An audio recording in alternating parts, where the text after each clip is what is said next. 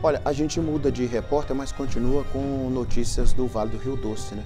Um carro ficou com a parte da frente destruída depois de um incêndio dentro de uma garagem. Um outro veículo também foi atingido. O Miguel Braz está chegando aqui ao vivo para contar detalhes para a gente desse caso. Por favor, Miguel, boa tarde para você, amigo.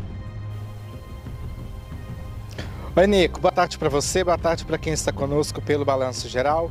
Esta ocorrência de incêndio a veículo foi na Avenida Ana Pena, Ana Pena, no bairro Limoeiro, em Caratinga, viu? De acordo com os militares do Corpo de Bombeiros, algumas equipes tiveram dificuldades para apagar o incêndio. Isso porque, segundo o boletim de ocorrência, o carro estava no posicionamento que meio que dificultou o trabalho da corporação, porque estava com a frente praticamente encostada na parede, o que dificultou a abertura do capô para fazer o trabalho de rescaldo.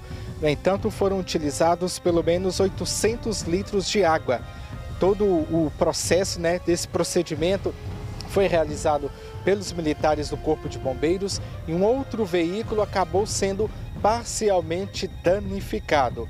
No entanto, o documento do Corpo de Bombeiros diz que a proprietária preferiu é, que a perícia não estivesse no local, né, não fosse chamada até então para fazer a análise, porque a suspeita é que poderia ser um problema mecânico mesmo. A mulher ainda contou para os militares do Corpo de Bombeiros que antes, da última vez que usou o veículo, não percebeu nenhum, nenhum problema, nenhum, nenhuma coisa diferente no veículo. No entanto, nesta ocorrência que mobilizou os bombeiros no bairro Limoeiro, em Caratinga, a gente vê aí nas imagens o estrago que o carro da mulher ficou, né, com a frente totalmente destruída por este incêndio, Nico.